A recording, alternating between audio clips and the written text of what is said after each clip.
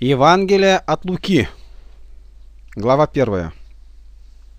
Как уже многие начали составлять повествование о совершенно известных между нами событиях, как передали нам то бывшие с самого начала очевидцами и служителями слова, то рассудилось и мне, по тщательному исследованию всего сначала, по порядку, описать тебе, достопочтенный Феофил, чтобы ты узнал твердое основание того учения, в котором был наставлен. В одни Ирода, царя Иудейского, был священник из Авиевой череды именем Захария, и жена его из рода Ааронова, имя ей Елисавета. Оба они были праведны перед Богом, поступая по всем заповедям и уставам Господним беспорочно. У них не было детей, ибо Елисавета была неплодна, и оба были уже в летах преклонных. Однажды, когда он в порядке своей череды служил пред Богом, по жребию, как обыкновенно было у священников, досталось ему войти в храм Господень для кождения, а все множество народа молилось вне во время кождения. Тогда явился ему ангел Господень, стоя по правую сторону жертвенника кадильного. Захария, увидев его, смутился, и страх напал на него. Ангел же сказал ему, «Не бойся, Захария, ибо услышана молитва твоя, и жена твоя Елисавета родит тебе сына, и наречешь ему имя Иоанн. И будет тебе радость и веселье, и многие о рождении его возрадуются. Ибо он будет велик пред Господом, не будет пить вина из секера, и Духа Святого исполнится еще от чрева матери своей. И многих из сынов Израилевых обратит Господу Богу их, и предыдет пред Ним в духе и силе Илии, чтобы возвратить сердца отцов детям, и непокоривым образ мыслей праведников, чтобы представить Господу народ приготовленный. И сказал Захария ангелу, «Почему я узнаю это? Ибо я стар, и жена моя в летах преклонных». Ангел сказал ему в ответ, «Я, Гавриил, предстоящий пред Богом, и послан говорить с тобою и благовестить тебе сие». И вот ты будешь молчать и не будешь иметь возможность говорить до того дня, как это сбудется, за то, что ты не поверил словам моим, которые сбудутся в свое время. Между тем народ ожидал Захарию и дивился, что он медлит в храме. Он же, выйдя, не мог говорить к ним, и они поняли, что он видел видение в храме, и он объяснялся с ними знаками и оставался нем. А когда окончились дни службы его, возвратился в дом свой. После сих дней зачала Елисавета, жена его, и таилась пять месяцев и говорила, «Так сотворил мне Господь в одни сии, в которые презрел на меня, чтобы снять с меня поношение между людьми».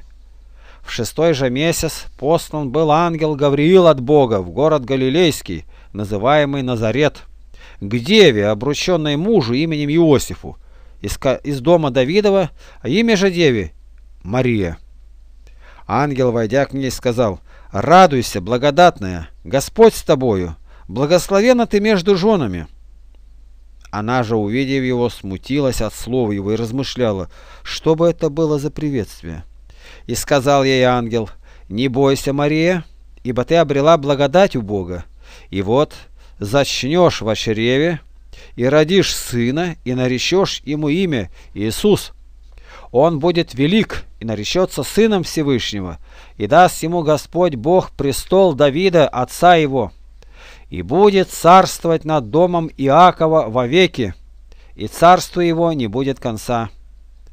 Мария же сказала ангелу, «Как будет это, когда я мужа не знаю?»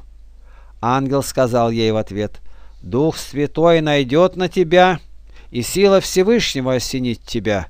Посему и рождаемое святое наречется Сыном Божиим.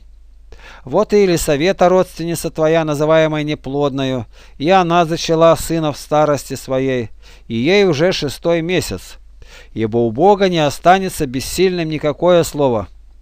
Тогда Мария сказала, «Се, раба Господня, да будет мне по слову твоему». И отошел от нее ангел. Встав же, Мария в Одиссии с поспешностью пошла в Нагорную страну, в город Иудин, и вошла в дом Захарии и приветствовала Елисавету. Когда Елисавета услышала приветствие Марии, взыграл младенец в чреве ее. И Елисавета исполнилась Святого Духа, и воскликнула громким голосом и сказала, «Благословенна ты между женами, и благословен плод чрева твоего, и откуда это мне, что пришла Матерь Господа моего ко мне?» Ибо когда голос приветствия твоего дошел до слуха моего, взыграл младенец радостно в чреве моем, и блаженно уверовавшая, потому что совершится сказанное ей от Господа.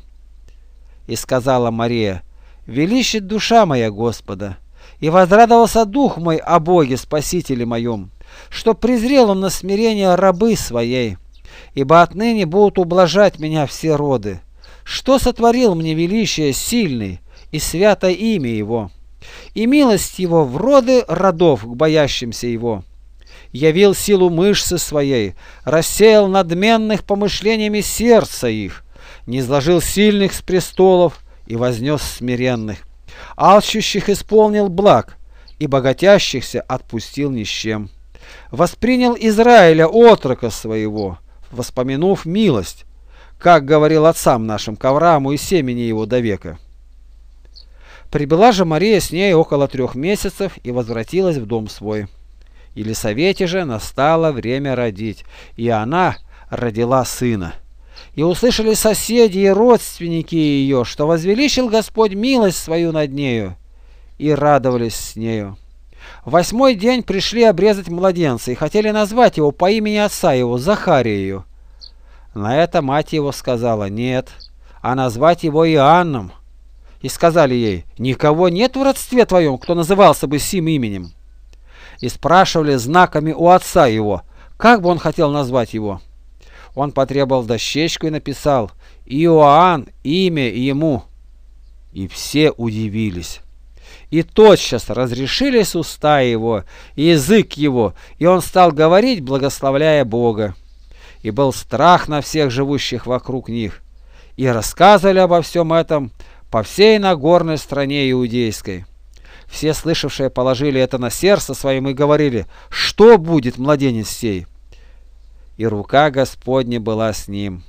И Захария, отец его, исполнился Святого Духа и пророчествовал, говоря, «Благословен Господь Бог Израилев, что посетил народ свой и сотворил избавление ему, и воздвиг рог спасения нам в дому Давида, отрока своего» как возвестил устами бывших от века святых пророков своих, что спасет нас от врагов наших и от руки всех ненавидящих нас, сотворит милость с отцами нашими и помянет святой завет свой, клятву, которую клялся он Аврааму, отцу нашему, дать нам, небоязненно, по избавлению от руки врагов наших, служить ему в святости и правде перед ним во все дни жизни нашей. И ты, младенец, наречешься пророком Всевышнего, ибо предыдешь перед лицом Господа приготовить пути Ему, дать уразуметь народу Его спасение в прощении грехов их, по благоутробному милосердию Бога нашего, которым посетил нас восток свыше, просветить сидящих во тьме и тени смертной, направить ноги наши на путь мира.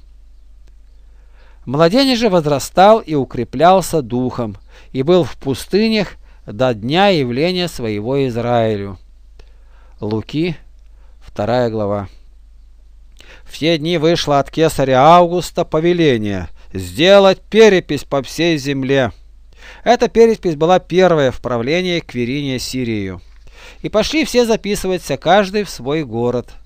Пошел также Иосиф из Галилеи, из города Назарета в Иудею, в город Давидов, называемый Вифлеем потому что он был из дома и рода Давидова. Записаться с Марией, обрученной ему женою, которая была беременна. Когда же они были там, наступило время родить ей.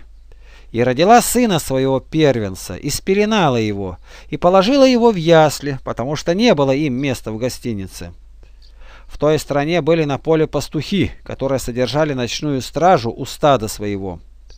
Вдруг предстал им ангел Господень, и слава Господня осияла их, и убоялись страхом великим. И сказал им ангел, не бойтесь, я возвещаю вам великую радость, которая будет всем людям, ибо ныне родился вам в городе Давидовом Спаситель, который есть Христос, Господь. И вот вам знак. Вы найдете младенца в пеленах, лежащего в яслях. И внезапно явилось с ангелом многочисленное воинство небесное, славящее Бога и взывающее «Слава Вышних Богу! И на земле мир! В человеках благоволение!» Когда ангелы отошли от них на небо, пастухи сказали друг другу «Пойдем Вифлеем и посмотрим, что там случилось, о чем возвестил нам Господь». И поспешив, пришли, нашли Марию и Иосифа и младенца, лежащего в яслях. Увидев же, рассказали о том, что было возвещено им о младенце семь. И все слышавшие дивились тому, что рассказывали им пастухи. А Мария сохраняла все слова сии, слагая в сердце своем. И возвратились пастухи, славя и хваля Бога за все то, что слышали и видели, как им сказано было. По прошествии восьми дней когда надлежало обрезать младенца, дали ему имя Иисус, нареченный ангелом, прежде зачатия его в чреве. А когда исполнились дни очищения их по закону Моисееву, принесли его в Иерусалим, чтобы представить пред Господа, как предписано в законе Господнем, чтобы всякий младенец мужеского пола, разверзающий ложесна, был посвящен Господу, и чтобы принести в жертву по реченному в законе Господнем две горлицы или двух птенцов голубинных. Тогда был в Иерусалиме человек именем Симеон. Он был муж праведный и благочестивый, чающий утешение Израилева, и Дух Святой был на нем. Ему было предсказано Духом Святым, что он не увидит смерти, доколе не увидит Христа Господня. И пришел он по вдохновению в храм – и когда родители принесли младенца Иисуса, чтобы совершить над ним законный обряд, он взял его на руки, благословил Бога и сказал, «Ныне отпускаешь раба твоего, владыка, по слову твоему, с миром, ибо видели очи мои спасение твое, которое ты уготовил перед лицом всех народов, свет к просвещению язычников и славу народа твоего Израиля». Иосиф же и матерь его дивились сказанному о нем. И благословил их Симеон и сказал Марии матери его, «Се, лежит сей нападение и на восстание многих в Израиле и в предмет пререканий, и тебе самое оружие пройдет душу, да откроется помышление многих сердец». Тут была также Анна, пророчица, дочь Фануилова, от колена Асирова, достигшая глубокой старости, прожив с мужем от девства своего семь лет. Вдова лет 84, которая не отходила от храма постом и молитвою, служа Богу день и ночь. И она в то время, подойдя, славила Господа и говорила о нем всем, ожидавшим избавления в Иерусалиме. И когда они совершили все по закону Господню, возвратились в Галилею, в город свой Назарет. Младенец же возрастал и укреплялся духом, исполняясь премудрости, и благодать Божия была на нем. Каждый год родители его ходили в Иерусалим на праздник Пасхи, и когда он был 12 лет, пришли они также по обычаю в Иерусалим на праздник. Когда же по окончании дней, дней праздника возвращались, остался отрок Иисус в Иерусалиме. И не заметили того Иосиф и матерь его, но думали, что он идет с другими. Пройдя же дневной путь, стали искать его между родственниками и знакомыми, и, не найдя его, возвратились в Иерусалим, ища его. Через три дня нашли его в храме, сидящего посреди учителей, слушающего их и спрашивающего их. Все слушавшие его дивились разуму и ответам его. И, увидев его, удивились. И матерь его сказала ему, «Чадо, что ты сделал с нами? Вот отец твой и я с великой скорбью искали тебя. Он сказал им, зачем было вам искать меня? Или вы не знали, что мне должно быть в том, что принадлежит отцу моему? Но они не поняли сказанных им слов. И он пошел с ними и пришел в Назарет, и был в повиновении у них, и матерь его сохраняла все слова сии в сердце своем. Иисус же преуспевал в премудрости и возрасте, и в любви у Бога и человеков. Евангелие от Луки, 3 глава.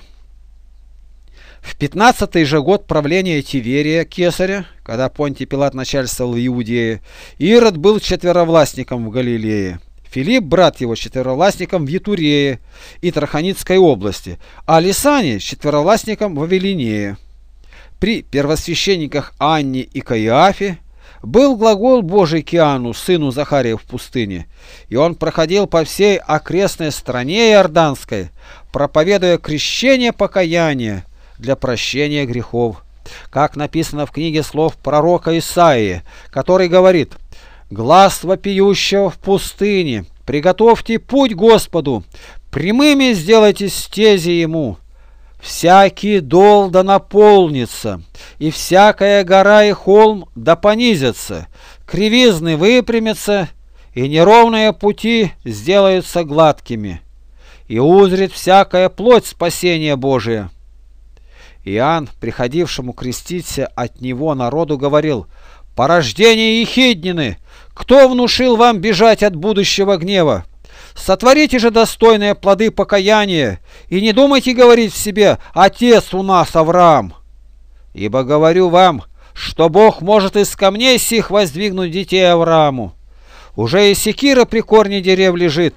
Всякое дерево, не приносящее доброго плода, срубают и бросают в огонь. И спрашивал его народ, что же нам делать? Он сказал им в ответ, у кого две одежды, тот дай неимущему. И у кого есть пища, делай тоже. Пришли и мытари креститься, и сказали ему, учитель, что нам делать? Он отвечал им, ничего не требуйте более определенного вам. Спрашивали его также и воины, а нам что делать? И сказал им, никого не обижайте, не клевещите и довольствуйтесь своим жалованием. Когда же народ был в ожидании, и все помышляли в сердцах своих об Иоанне, не Христос ли он?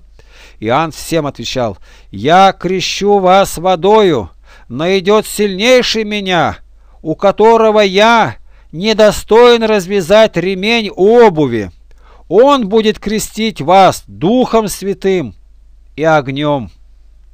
Лопата его в руке его, и он очистит гумно свое, и соберет пшеницу в житницу свою, а солому сожжет огнем неугасимым. Многое и другое благовествовал он народу, поучая его. Ирод же, четверовластник, обличаемый от него за Иродиаду жену, брата своего, и за все, что сделал Ирод худого, прибавил ко всему прочему и то, что заключил Иоанна в темницу. Когда же крестился весь народ, Иисус, крестившись, молился, отверзлось небо, и Дух Святой не шел на него в телесном виде, как голубь. И был глаз с небес глаголющий, «Ты, Сын мой возлюбленный, в Тебе мое благоволение». Иисус, начиная свое служение, был лет тридцати, и был, как думали, сын Иосифов, Илиев, Матфатов, Левиин, Мелхиев, Иоаннаев, Иосифов, Матафиев, Амосов, Наумов, Еслимов, Нагеев, Маафов, Матафиев, Семеев, Иосифов, Иудин, Иоаннанов, Рисаев, Зарававелев, Салафиилев, Нириев, Мелхиев, Адиев, Касамов, Елмадамов, Иров, Иосиев, Илиезеров, Иаримов, Матфатов, Левиин, Симеонов, Иудин, Иосифов, Иоаннанов, Илиакимов, Мелиаев, Маинанов, Матафаев, Нафанов, Давидов, Иисеев, Авидов, Ваозов, Салмонов, Наасонов, Аминадавов, Арамов, Исромов, Фаресов, Иудин, Иаковлев, Исааков, Авраамов, Фаррин, Нахоров, Серухов, Рогавов, Фалеков, Еверов, Салин, Каинанов, Арфаксадов, Симов, Ноев, Ламехов, Мафусалов, Енохов, Иоредов, Малилиилов, Каинанов, Еносов, Сифов, Адамов, Божий. Луки, 4 глава. Иисус, исполненный Духа Святого, возвратился от Иордана и поведен был Духом в пустыню. Там сорок дней он был искушаем от дьявола и ничего не ел в эти дни, а по прошествии их напоследок залкал. И сказал ему дьявол, «Если ты сын Божий, то вели этому камню сделаться хлебом». Иисус сказал ему в ответ, «Написано, что не хлебом одним будет жить человек, но всяким Словом Божиим. И, возведя его на высокую гору, дьявол показал ему все царства вселенной во мгновение времени, и сказал ему дьявол, «Тебе дам власть над всеми семи царствами и славу их, ибо она предана мне, и я кому хочу даю ее. Итак, если ты поклонишься мне, то все будет твое». Иисус сказал ему в ответ, «Отойди от меня, сатана, Написано, Господу Богу твоему поклоняйся, и Ему одному служи. И повел его в Иерусалим, и поставил его на крыле храма, и сказал ему, «Если ты сын Божий, бросься отсюда вниз, ибо написано, ангелом своим заповедает о тебе сохранить тебя, и на руках понесут тебя, да не приткнешься о камень ногою твоею». Иисус сказал ему в ответ, «Сказано, не искушай Господа Бога твоего. И, окончив все искушение, дьявол отошел от него до времени. И возвратился Иисус в силе духа в Галилею, и разнеслась молва о нем по всей окрестной стране. Он учил в синагогах их, и от всех был прославляем. И пришел в Назарет, где был воспитан, и вошел по обыкновению своему в день субботний в синагогу, и встал считать. Ему подали книгу пророка Исаии. И он, раскрыв книгу, нашел место, где было написано «Дух Господень на мне, ибо Он помазал меня благовествовать нищим и послал меня исцелять сокрушенных сердцем, проповедовать пленным освобождение, слепым прозрение, отпустить измученных на свободу, проповедовать лето Господне благоприятное». И, закрыв книгу, я дал служителю сел и глаза всех в синагоге были устремлены на него. И он начал говорить им, «Ныне исполнилось Писание сие, слышанное вами». И все засвидетельствовали ему это, и дивились словам благодати, исходившим из уст его, и говорили, «Не Иосифов ли это сын?» Он сказал им, «Конечно, вы скажете мне присловие, врач, исцели самого себя». Сделай здесь, в твоем отечестве, то, что мы слышали было в Капернауме. И сказал, истинно говорю вам, никакой пророк не принимается в своем отечестве. Поистине говорю вам, много вдов было в Израиле в одни Илии, когда заключено было небо три года и шесть месяцев. Так что сделался большой голод по всей земле. И ни к одной из них не был послан Илья, а только ко вдове в Сарепту Сидонскую. Много также было прокаженных в Израиле при пророке Елисее, и ни один из них не очистился, кроме Неимана сириянина. Услышав это, все в синагоге исполнились ярости, и, встав, выгнали его вон из города и повели на вершину горы, на которой город их был построен, чтобы свергнуть его. Но он, пройдя посреди них, удалился и пришел в Капернаум, город Галилейский, и учил их в дни субботние. И дивились учению его, ибо слово его было со властью. Был в синагоге человек, имевший нечистого духа бесовского, и он закричал громким голосом, «Оставь! Что тебе до нас, Иисус Назарянин? Ты пришел погубить нас! Знаю тебя, кто ты, святой Божий!» Иисус запретил ему, сказав, «Замолчи!» И выйди из него. И бес, повернув его посреди синагоги, вышел из него, немало не повредив ему. И напал на всех ужас, и рассуждали между собою, что это значит, что он со властью и силой повелевает нечистым духом, и они выходят. И разнесся слух о нем по всем окрестным местам. Выйдя из синагоги, он вошел в дом Симона. Теща же Симонова была одержима сильной горячкою и просили его о ней. Подойдя к ней, он запретил горячке и оставила ее. Она тотчас стала и служила им. При захождении же солнца все имевшие больных различными болезнями, приводили их к нему. И он, возлагая на каждого из них руки, исцелял их. Выходили также и бесы из многих с криком и говорили «Ты Христос, Сын Божий!» А он запрещал им сказывать, что они знают, что он Христос. Когда же настал день, он, выйдя из дома, пошел в пустынное место, и народ искал его, и, придя к нему, удерживал его, чтобы не уходил от них. Но он сказал им, «И другим городам благовествовать я должен Царствие Божие, ибо на то я послан». И проповедовал в синагогах галилейских. Луки, 5 глава. Однажды, когда народ теснился к нему, чтобы слышать Слово Божие, а он стоял у озера Генесарецкого, увидел он две лодки, стоящие на озере, а рыболовы, выйдя из них, вымывали сети. Войдя в одну лодку, которая была Симонова, он просил его отплыть несколько от берега, и, сев, учил народ из лодки. Когда же перестал учить, сказал Симону, «Отплыви на глубину и закиньте сети свои для лова». Симон сказал ему в ответ, «Наставник, мы трудились всю ночь и ничего не поймали, но по слову твоему закину сеть». Сделав это, они поймали великое множество рыбы, и даже сеть у них прорывалась.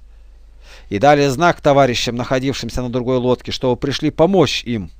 И пришли, и наполнили обе лодки, так что они начинали тонуть. Увидев это, Симон Петр припал к коленям Иисуса и сказал, «Выйди от меня, Господи, потому что я человек грешный». Ибо ужас объял его и всех бывших с ним от этого лова рыб ими пойманных. Также и Иакова, и Иоанна, сыновей Зеведеевых, бывших товарищему Симону. И сказал Симону Иисус, «Не бойся, отныне будешь ловить человеков». И, вытащив обе лодки на берег, оставили все и последовали за ним. Когда Иисус был в одном городе, пришел человек весь в проказе, и, увидев Иисуса, пал низ, умоляя его и говоря, «Господи, если хочешь, можешь меня очистить». Он простер руку, прикоснулся к нему и сказал, «Хочу, очистись». И тотчас проказа сошла с него. И он повелел ему никому не сказывать, а пойти показаться священнику и принести жертву за ощущение свое, как повелел Моисей, во свидетельство им. Но тем более распространялась молва о нем, и великое множество народа стекалось к нему слушать и врачеваться у него от болезней своих. Но он уходил в пустынные места и молился. В один день, когда он учил, и сидели тут фарисеи законоучители, пришедшие из всех мест Галилеи, Иудеи, из Иерусалима, и сила Господня являлась в исцелении больных. Вот, принесли некоторые на постели человека, который был расслаблен, и старались внести его в дом и положить перед Иисусом. И, не найдя, где пронести его за многолюдством, влезли наверх дома и сквозь кровлю спустили его с постели на середину пред Иисуса. И он, видя веру их, сказал человеку тому, «Прощаются тебе грехи твои». Книжники и фарисеи начали рассуждать, говоря, «Кто это, который богохульствует? Кто может прощать грехи, кроме одного Бога?» Иисус, уразумев помышления их, сказал им в ответ, «Что вы помышляете в сердцах ваших? Что легче сказать, прощаются тебе грехи твои, или сказать, встань и ходи?» Но, чтобы вы знали, что Сын Человеческий имеет власть на земле прощать грехи, сказал он расслабленному, тебе говорю, встань, возьми постель твою и иди в дом твой. И он тотчас встал перед ними, взял на чем лежал и пошел в дом свой, славя Бога. И ужас объял всех, и славили Бога, и, быв исполнены страха, говорили, чудные дела видели мы ныне. После сего Иисус вышел и увидел мытаря именем Левия, сидящего у сбора пошлин, и говорит ему, «Следуй за мною». И он, оставив все, встал и последовал за ним. И сделал для него Левий в доме своем большое угощение, и там было множество мытарей и других, которые возлежали с ними. Книжники же и фарисеи роптали и говорили ученикам его, «Зачем вы едите и пьете с мытарями и грешниками?» Иисус же сказал им в ответ, Нездоровые имеют нужду во враче, но больные. Я пришел призвать не праведников, а грешников к покаянию. Они же сказали ему, почему ученики Иоаннова постятся часто и молитвы творят, так же и фарисейские, а твои едят и пьют? Он сказал им, можете ли заставить сынов чертога брачного поститься, когда с ними жених? Но придут дни, когда отнимется у них жених, и тогда будут поститься в те дни. При всем сказал им притчу. Никто не представляет заплаты к ветхой одежде, отодрав от новой одежды. А иначе и новую раздерет, и к старой не подойдет заплата от новой. И никто не вливает молодого вина в мехи ветхие, а иначе молодое вино прорвет мехи, и само вытечет, и мехи пропадут. Но молодое вино должно вливать в мехи новые. Тогда сбережется и то, и другое. И никто, пив старое вино, не захочет тотчас молодого, ибо говорит, старое лучше. Евангелие от Луки, 6 глава. В субботу, первую по втором дне Пасхи, случилось ему проходить засеянными полями, и ученики его срывали колосья и ели, растирая руками. Некоторые же из фарисеев сказали им, «Зачем вы делаете то, чего не должно делать в субботы?» Иисус сказал им в ответ – Разве вы не читали, что сделал Давид, когда взалкал самый бывший с ним? Как он вошел в Дом Божий, взял хлебы, предложения, которых не должно было есть никому, кроме одних священников, и ел, и дал бывшим с ним. И сказал им, «Сын человеческий есть господин и субботы». Случилось же и в другую субботу войти ему в синагогу и учить. Там был человек, у которого правая рука была сухая. Книжники же и фарисеи наблюдали за ним, не исцелить ли в субботу, чтобы найти обвинение против него. Но он, зная помышления их, сказал человеку, имеющему сухую руку, «Встань и выступи на середину». И он встал и выступил. Тогда сказал им Иисус, «Спрошу я вас, что должно делать в субботу, добро или зло? Спасти душу или погубить?» Они молчали и, посмотрев на всех их, сказал тому человеку, «Протяни руку твою». Он так и сделал. И стала рука его здорова, как другая. А они же пришли в бешенство и говорили между собою, что бы им сделать с Иисусом. В те дни взошел он на гору помолиться и пробыл всю ночь в молитве к Богу. Когда же настал день, призвал учеников своих и избрал из них двенадцать, которых и наименовал апостолами – Симона, которого и назвал Петром, и Андрея, брата его, Иакова и Иоанна, Филиппа и Варфоломея, Матфея и Фому, Иакова Алфеева и Симона, прозываемого Зелотом, Иуду Яковлева и Иуда Искариота, который потом сделался предателем. И, сойдя с ними, стал он на ровном месте, и множество учеников его, и много народа и всей Иудеи и Иерусалима, и приморских мест тирских и сидонских которые пришли послушать его и исцелиться от болезней своих, также и страждущие от нечистых духов, и исцелялись. И весь народ искал прикасаться к нему, потому что от него исходила сила и исцеляла всех. И он, возведя очи свои на учеников своих, говорил, «Блаженны нищие духом, ибо ваше есть Царствие Божие. Блаженны алчущие ныне, ибо насытитесь.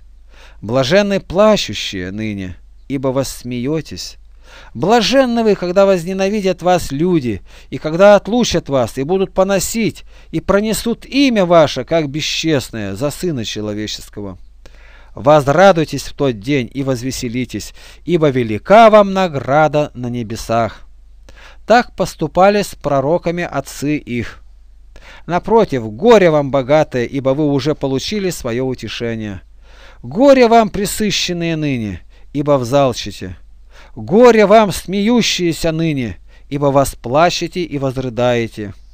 Горе вам, когда все люди будут говорить о вас хорошо, ибо так поступали с лжепророками отцы их.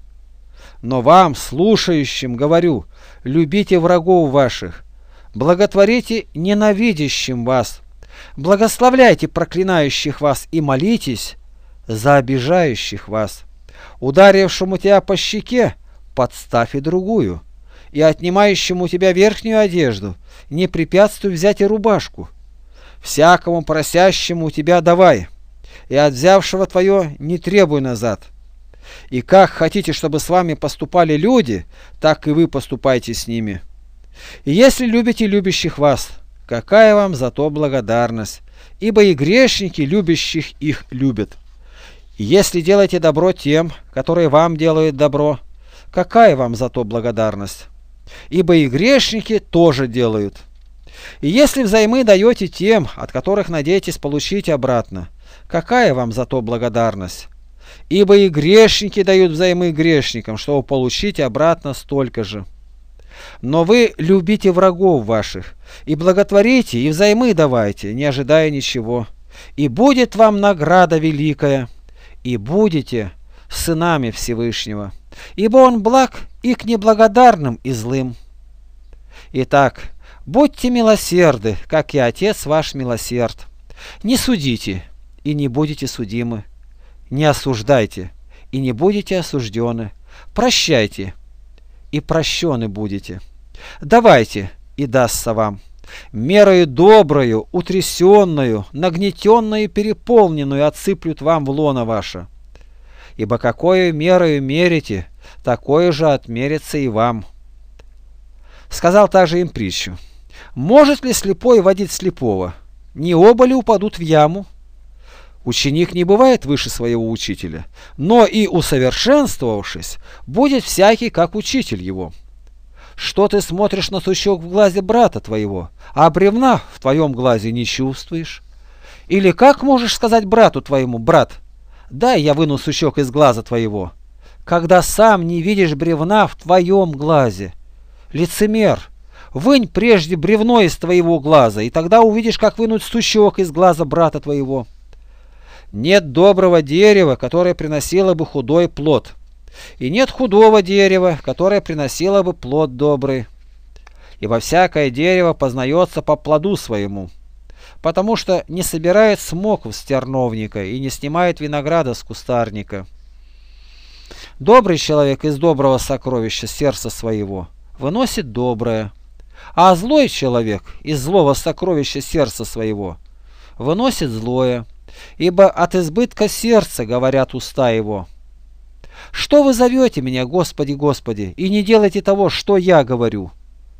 Всякий, приходящий ко мне и слушающий слова мои, и исполняющий их, скажу вам, кому подобен. Он подобен человеку, строящему дом, который копал, углубился и положил основание на камне. Почему, когда случилось наводнение, и вода наперла на этот дом, то не могла поколебать его, потому что он основан был на камне. А слушающий и не исполняющий подобен человеку, построившему дом на земле, без основания, который, когда наперла на него вода, тотчас обрушился, и разрушение дома сего было великое. Луки, 7 глава. Когда он окончил все слова свои к слушавшему народу, то вошел в Капернаум. У одного сотника слуга, которым он дорожил, был болен при смерти. Услышав об Иисусе, он послал к нему иудейских старейшин просить его, чтобы пришел исцелить слугу его. И они, придя к Иисусу, просили его убедительно, говоря, «Он достоин, чтобы ты сделал для него это, ибо он любит народ наш и построил нам синагогу». Иисус пошел с ними. И когда он недалеко уже был от дома, Сотник прислал к нему друзей сказать ему, «Не трудись, Господи, ибо я недостоин, чтобы ты вошел под кров мой, потому что и себя самого не почел я достойным прийти к тебе. Но скажи слово, и выздоровеет слуга мой, ибо я и подвластный человек, но имея у себя в подчинении воинов, говорю одному, пойди, и идет, и другому, приди, и приходит, и слуге моему, сделай то, и делает». Услышав сие, Иисус удивился ему и, обратившись, сказал идущему за ним народу, «Сказываю вам, что и в Израиле не нашел я такой веры». Посланные, возвратившись в дом, нашли больного слугу выздоровевшим. После сего Иисус пошел в город, называемый Наин, и с ним шли многие из учеников его и множество народа. Когда же он приблизился к городским воротам, тут выносили умершего, единственного сына у матери, а она была вдова. И много народа шло с нею из города. Увидев ее, Господь жалился над нею и сказал ей, «Не плачь». И, подойдя, прикоснулся к одру. Несшие остановились. И он сказал, «Юноша, тебе говорю, встань!» Мертвый, поднявшись, сел и стал говорить. И отдал его Иисус матери его. И всех объял страх, и славили Бога, говоря, «Великий пророк восстал между нами, и Бог посетил народ свой». Такое мнение о нем распространилось по всей Иудее и по всей окрестности. И возвестили Иоанну ученики его о всем том. Иоанн, призвав двоих из учеников своих, послал к Иисусу спросить, «Ты ли тот, который должен прийти, или ожидать нам другого?» Они, придя к Иисусу, сказали, «Иоанн Креститель послал нас к тебе спросить, ты ли тот, которому должно прийти, или другого ожидать нам?» А в это время он многих исцелил от болезней и недугов, и от злых духов, и многим слепым даровал зрение. И сказал им Иисус в ответ, «Пойдите, скажите Иоанну, что вы видели и слышали? Слепые прозревают, хромые ходят, прокаженные ощущаются, глухие слышат, мертвые воскресают, нищие благовествуют. И блажен, кто не соблазнится о мне. По отшествии же посланных Иоанном начал говорить к народу об Иоанне. Что смотреть ходили вы в пустыню? Трость ли ветром колеблемую? Что же смотреть ходили вы? Человека ли одетого в мягкие одежды? Но одевающиеся пышные, роскошно живущие находятся при дворах царских. Что же смотреть ходили вы? Пророка ли? Да, говорю вам, и больше пророка. Сей есть, о котором написано, «Вот я посылаю ангела моего пред лицом твоим, который приготовит путь твой пред тобою». Ибо говорю вам, из рожденных женами нет ни одного пророка больше Иоанна Крестителя, но меньший в Царстве Божием больше его. И весь народ, слушавший его, и мытари, воздали славу Богу, крестившись крещением Иоанновым. А фарисеи и законники отвергли волю Божию о себе, не крестившись от него. Тогда Господь сказал, «С кем сравню людей рода сего? И кому они подобны?» Они подобны детям, которые сидят на улице, клищут друг друга и говорят, «Мы играли вам на свирели, и вы не плясали. Мы пели вам плачевные песни, и вы не плакали. Ибо пришел Иоанн Креститель, ни хлеба не ест, ни вина не пьет, и говорите, в нем бес. Пришел Сын Человеческий, ест и пьет, и говорите, вот человек, который любит есть и пить вино, и другие мытари и грешники. Друг мытарям и грешникам, и оправдана премудрость всеми чадами ее. Некто из фарисеев просил его вкусить с ним пищи, и он, войдя в дом фарисея, возлег. И вот женщина того города, которая была грешница, узнав, что он возлежит в доме фарисея, принесла алавастровый сосуд с миром. И, став позади у ног его и плача, начала обливать ноги его слезами и отирать волосами головы своей, и целовала ноги его, и мазала миром. Видя это, фарисей, пригласивший его, сказал сам себе – если бы он был пророк, то знал бы, кто и какая женщина прикасается к нему, ибо она грешница. Обратившись к нему, Иисус сказал, «Симон, я имею нечто сказать тебе». Он говорит, «Скажи, учитель». Иисус сказал, «У одного взаимодавца было два должника. Один должен был 500 динариев, а другой 50. Но как они не имели чем заплатить, он простил обоим. Скажи же, который из них более возлюбит его? Симон отвечал, думаю, тот, которому более простил. Он сказал ему, правильно ты рассудил. И, обратившись к женщине, сказал Симону, видишь ли ты эту женщину? Я пришел в дом твой, и ты воды мне на ноги не дал, а она слезами облила мне ноги и волосами головы своей отерла. Ты целования мне не дал, а она с тех пор, как я пришел, не перестает целовать у меня ноги. Ты головы мне маслом не помазал, а она миром помазала мне ноги. А потому сказываю тебе, прощаются грехи ее многие за то, что она возлюбила много, а кому мало прощается, тот мало любит. Ей же сказал, прощаются тебе грехи твои. И возлежавшие с ним начали говорить про себя, кто это, что и грехи прощает. Он же сказал женщине, вера твоя спасла тебя, иди с миром.